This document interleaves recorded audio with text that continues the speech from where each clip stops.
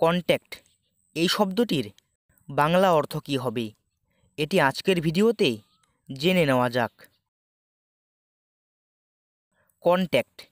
এই শব্দটির বাংলা অর্থ হবে যোগাযোগ করা, সংযোগ, স্পর্শ, যোগ অথবা সংস্পর্শে আসার প্রক্রিয়া, সম্পর্ক অথবা পরিচিতি।